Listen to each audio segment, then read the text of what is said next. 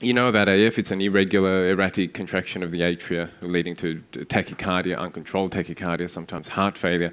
Uh, we see more heart failure, stroke physicians see more stroke as a consequence of AF, and a very, very important condition, as, as you all know, and a lot of time is spent on it. So I can talk about AF ablation for a week, and we go to these four or five day uh, meetings on AF ablation, but we've been, I've been asked uh, to focus on these three topics today. So pulmonary vein isolation, which is AF ablation, uh, the um, uh, integration of images, so CT usually, and, and MR image integration uh, into the ablation procedure, and also follow-up. So what do we do with these patients once, we've, uh, once they've had their procedure? So I recommend this. I'll show you this reference at the end. It's a, it's a consensus statement on AF ablation. And out of there comes this excellent diagram um, if you look at C, I'd, I'd, say I'd put that one first as a mechanism of atrial fibrillation. The pulmonary veins are clearly uh, and have been long uh, understood to, to, to, to, be the, the primary um, uh, mechanism for atrial fibrillation, triggering an atrial fibrillation uh, driving and maintenance. And you see those red stars. Let's see if I can use this. Yeah, so these red uh, stars in the pulmonary veins. This is a posterior view of the left atrium with pulmonary veins, uh, right atrium over here, SVC, IVC. So these focal triggers and drivers of atrial fibrillation, 95% of them or more originate in the pulmonary veins, and that's why we focus on that region as a, uh, as a target of ablation. And in the green, the green stars, you see um, uh, you see other, other focal triggers, and we'll, we'll always ta uh, uh, target these with ablation as well if we are able to induce them or if we find them. Sometimes you don't find them until you've completed an AF ablation and the patient no longer gets AF, but gets a focal atrial tachycardia from the posterior wall, the appendage, the right atrium, SVC, the crista terminalis, sometimes from the CS. The coronary sinus has muscular connections with the left atrium, some of which have electrical, independent electrical activity and can trigger atrial fibrillation as well. The second important mechanism I'd, I'd say is B. So you see macro and micro reentrant wavelets, uh, uh, signals that collide and degenerate into, into this disorganized thing that is atrial fibrillation. Uh, we know about the autonomic ganglia and we know about um, uh, the importance of uh, and the modulation of the autonomic nervous system on the heart. And there are some some select areas in the back of the left or around the left atrium uh, where these have inputs, and we we do target these if we can. Um, yesterday morning I did a procedure and the patient had a 15 second pause during the ablation from uh, around the left upper vein and it's usually a vagal response and it's, it's we get a bit uh, uncomfortable with it for a little while but, uh, but it is actually a very it's actually a, a marker of uh, success. We know that we've affected that region and we believe it's a, it's a good thing uh, for the uh, for the for the AF ablation procedure as a whole. Now, in reality, D is actually usually the case. It's a it's a bit of a mess of um, of mechanisms there.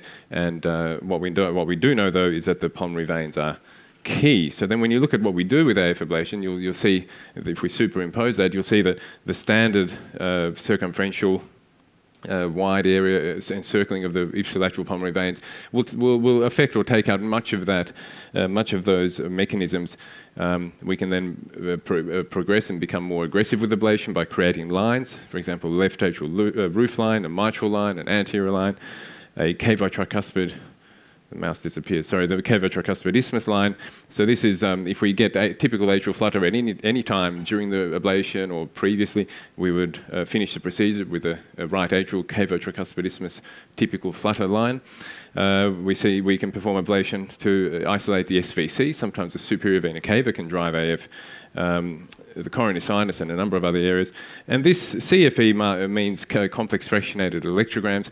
They're areas that probably, probably relate to some or more or some combination of all these mechanisms at specific sites. And that was once uh, very, uh, uh, you know, on, in vogue, but it's uh, not as commonly performed these days. So the goals are put in bold, the, really the electrical isolation of the veins and ablation around the pulmonary veins really is uh, very is critical to any ablation procedure for atrial fibrillation. You've probably seen this before. It's courtesy of Google. It's just about in every presentation that you'll, you'll see on AF ablation. No one knows where it's from, but it's a very nice little cartoon of of the pulmonary vein activity connect, uh, uh, being conducted into the left atrium and triggering AF. If we then ablate, which are those red circles, then we, we block that activity. So we disconnect electrically the pulmonary veins from the heart. Uh, the circular mapping catheter here uh, records activity in the vein, and then we have various other catheters that record activity in the atrium, and we'd like to see these to be dissociated. So this concept of exit block, so activity in the veins not being conducted into the atrium, and, and the other way around, entrance block, so a, a sinus rhythm or atrial activity not being conducted into the vein, and that's our uh, goal, along with the other two things you see there. So how do we do this?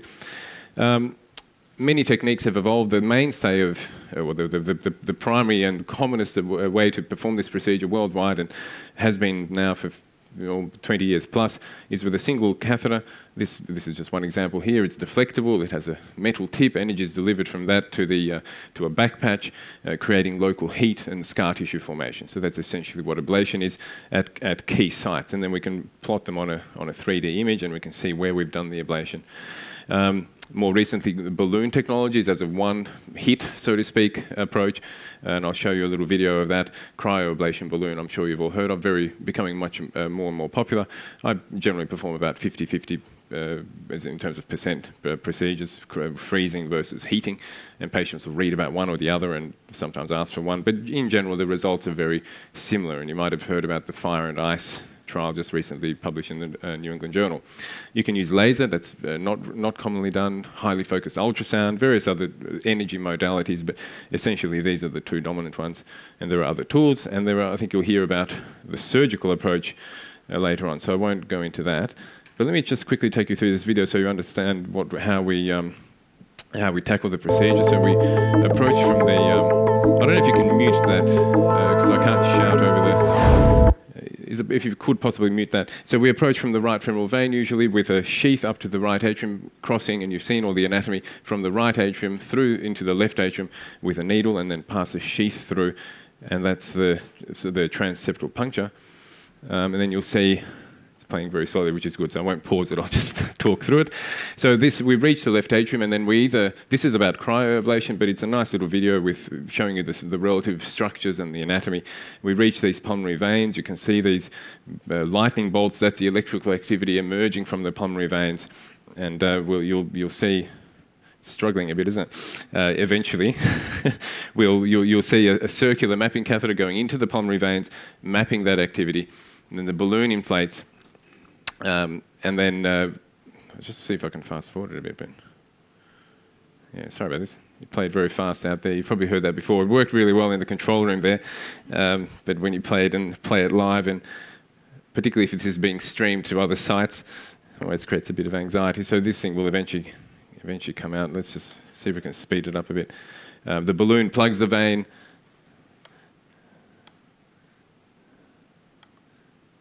And delivers energy, freezing energy uh, to, to that region. You can see that it is a very nice video, it was. Let's just get, get to the end there. You can see the temperature drops. Where the balloon has uh, contact with the pulmonary veins is where the energy is uh, delivered. And Oh, have I? Yes, I know my phone's gone to sleep as well. So let's just make some, make some meaningless chit chat. Um, well, eight, uh, I'm up to eight minutes and it's slide seven, so I'm going by uh, one slide per minute.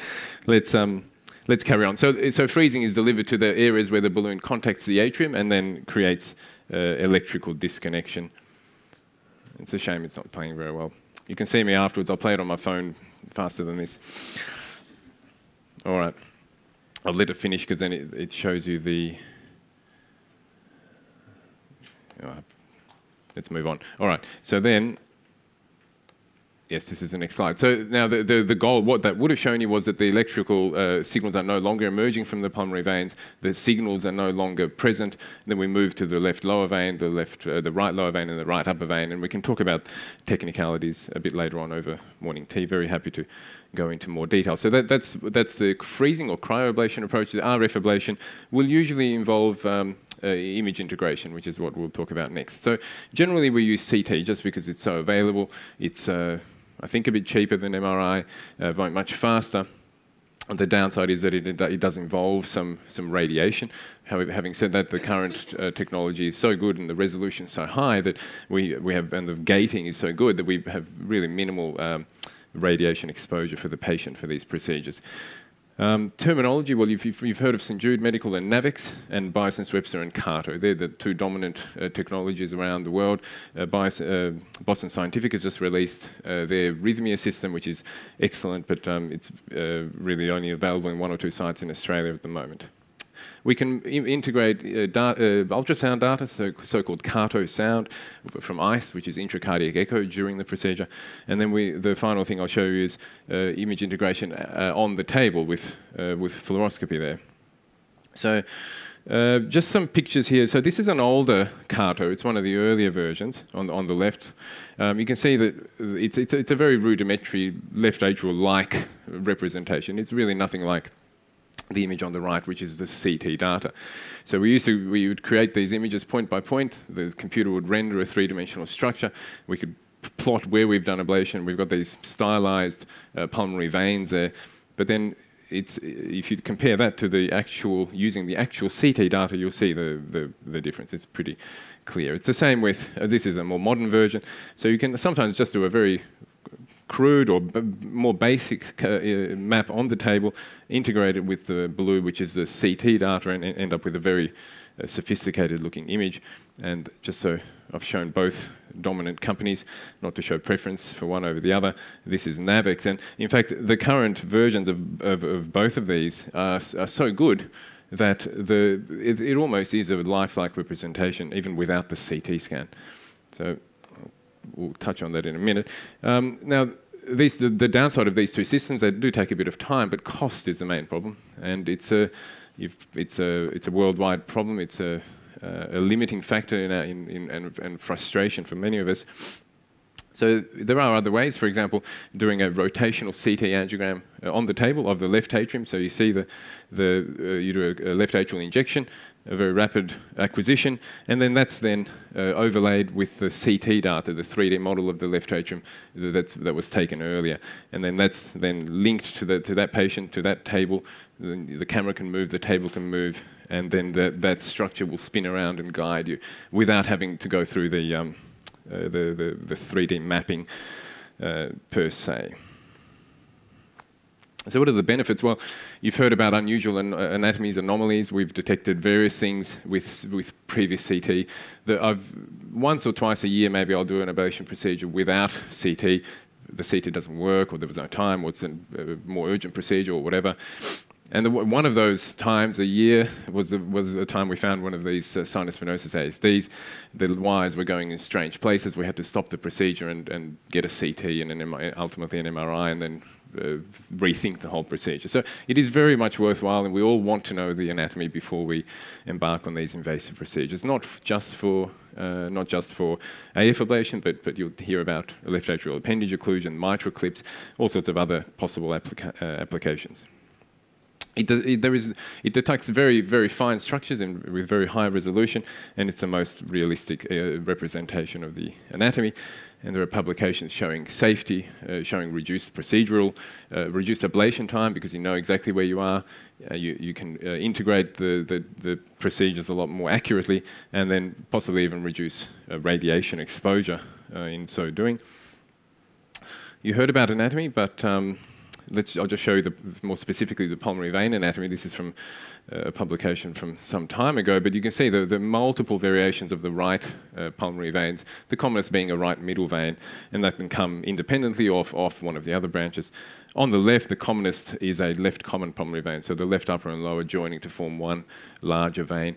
And this can, can actually be can actually make the procedure easier or can make the procedure harder, but it really is important to know what you're dealing with beforehand.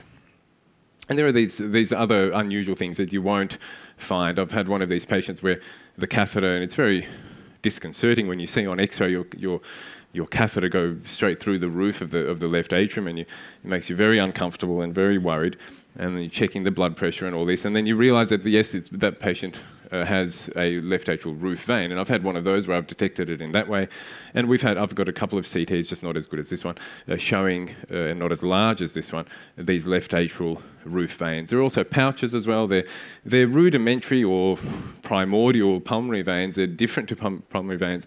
They, uh, they're usually frail, they're thin-walled, small, and you don't want to be putting your catheter too close to there or ablating in there. uh, because serious complications can ensue. Um, they do, there are case reports of uh, arrhythmogenic roof veins, and then they do need to be encircled with ablation, but by and large, we will stay away from them.